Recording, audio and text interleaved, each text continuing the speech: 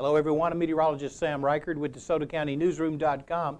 Your DeSoto Day Planner brought to you by Pounders Repair. You can find them at 345 East Commerce Street in Hernando. They specialize in diesel repair and performance. We had falling temperatures early this morning. We should be about 59 degrees and partly cloudy at 9 a.m.